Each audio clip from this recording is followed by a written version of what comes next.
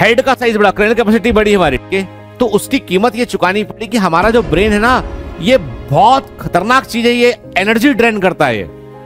ऊर्जा ड्रेन करता है। ये ये आप आ, है तो वज़न में बहुत ही कम ठीक है?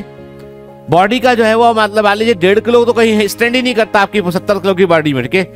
वेट में काफ़ी कम है लेकिन ये आपका एनर्जी का बड़ा हिस्सा तकरीबन वन फोर्थ हिस्सा जो है ये अकेला यूज़ कर रहा होता है। जो भी खाते हो, जो भी गए तो उसका एक बड़ा हिस्सा सीधा ब्रेन को। और it can not survive with few second without glucose जैसे नहीं मिलेगा तो अचानक से जो है वो चक्कर आके गिर जाएगा आदमी। शून्य हो जाएगा पूरा। तभी स्कूल में देखा होगा तुमने कि अभी जो है वो जब जनगण में एक आध कुछ गिर पड़ता तो टीचर फिर ग्लूकोज ग्लूकोन ग्लूकोज मिला के पिला दिया ग्लूकोन डी ठीक है? ठीक है? क्यों? कारण ये कि सबसे सबसे बड़ा रीजन जो है वो है कि ब्रेन को लगातार कांस्टेंट ऑक्सीजन के बगैर सप्लाई बिल्कुल बिल्कुल काम नहीं कर सकता है। तो जब इतना बड़ा पावर सिस्टम पूरा का पूरा दिया गया यहाँ पे ब्रेन के पास में तो जो सप्लाई थी, ब्लड की ब्रेन को अधिक देनी पड़ी। ऑक्सीजन का बड़ा हिस्सा ब्रेन को भेजना पड़ा। फ़ूड का बड़ा हिस्सा ब्रेन को भेजना पड़ा। कीमत चुकाई हाथ पैरों ने। बाकी मसल्स ने। कि नहीं भाई? तुमको हम टाइगर के बराबर पावरफुल नहीं कर पाएँगे। तुमको हम जो है गुरिल्ला टाइगर इसके बराबर तुमको ताकतवर नहीं बना पाएँगे क्योंकि कारण ये कि तुम्हारी ताकत ताकत के, के, के रास्ते में जो है वो दिक्कत कर रहा है ब्रेन क्योंकि वो मोस्ट ऑफ़ द सप्लाई वो ले लेता है आपसे ठीक है? लेकिन वही ब्रेन कहता है कि हम मैंने पहले भी आपसे कहा है कि बहुत ताकतवर लोग दिमाग से मज़बूत लोग शरीर से कमज़ोर लोगों की सिक्योरिटी में लगे होते हैं। ठीक है ना? आप पाएँगे कि मोस्ट ऑफ़ दी जो पॉलिटिशियंस है most of the Donald Trump type के दो चार लोग छोड़ दो आप, ठीक है ना?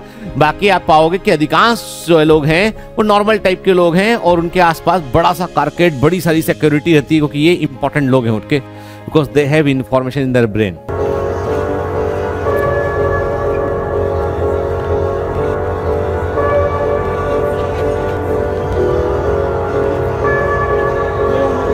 they are important people ठीक है?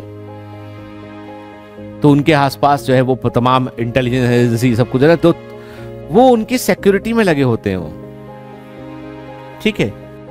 तो मुद्दा यह है कि ताकतवर तो ब्रेन ही है हमेशा। ताकतवर तो ब्रेन ही है हमेशा। रूल तो वही वही उसी ने करना है। सेनापति जो है ना, वो बहुत ताकतवर ज़रूरी नहीं है। सेनापति के पास में नेतृत्व क्षमता होती है, वो वो जो है वो लोगों को सैनिकों को जितवाती है वो। ठीक है? तो एवरीथिंग इज़ हेयर इसीलिए मैं आपसे कहता हूँ ये और सबसे बड़ी बात है कि इस ब्रेन का एक बड़ा हिस्सा जो सबकॉन्शियस है, जो क्या जो अक्सर अकेले में तुमसे बात करता है, तुम अकेले एकदम बैठे होते हो ना तो वो तुमको, तुम उसकी आवाज़ सुनते नहीं हो। तुम उसके उसके साथ में तुम डरते हो उससे कि ये हमको, इसलिए जैसे तुम अकेले होते हो ना, तुम झट से अकेलापन, किसी को ढूंढ लेते हो। उसके कमरे में जाके बैठे थोड़ी देर, ठीक है ना?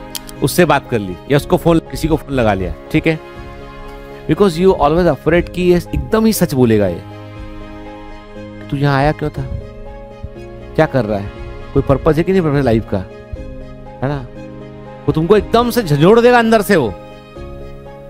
और उसी सबकॉन्शियस ब्रेन को हम ट्रेन कर, जब हम अच्छी बातें सुनते हैं, अच्छी बातें करते हैं पॉजिटिव बातें करते हैं तो वो सबकॉन्शियस ब्रेन जो है उसको धीमे धीमे यकीन होता है कि नहीं यार, कर सकते हैं, ठीक है? आपको टेस्ट ज्वाइन करना है। अभी तक आपने ज्वाइन नहीं किया है। तो रुकिए। बायोमेंटस का रिवाइंड टेस्ट सीरीज़ ज्वाइन कीजिए। वहाँ पर 15 माइनर टेस्ट होंगे फोर मेजर टेस्ट होंगे सिक्स फुल सिलेबस टेस्ट होंगे, कुल 25 टेस्ट होंगे और इन 25 टेस्ट में आप 5000 most important most probable question cover कर रहे होंगे। टेस्ट स्टेज बहुत इंपॉर्टेंट है, क्योंकि इसके थ्रू आप ये पता लगा सकते हैं कि कौन से एरिया आपका वीक है, किस तरह के क्वेश्चन को आपको प्रैक्टिस करना है, किन किन हिस्सों पर अधिक आपको ध्यान देना है। अब और कितना इंतज़ार करेंगे? अब आ जाइए, साथ मिलकर मेहनत करते हैं और टेस्ट सीरीज़ के दम पर ही हम 675 नंबर से ऊपर ला सकते हैं। लेकिन आपको यह अपने आप से प्रॉमिस करना होगा कि टेस्ट सीरीज़ की तैयारी आप बड़ी गंभीरता से करेंगे एनसीईआरटी का इस्तेमाल करेंगे और अच्छे से पढ़ेंगे तो टेस्ट सीरीज़ भी काफ़ी है मंजिल को पाने के लिए।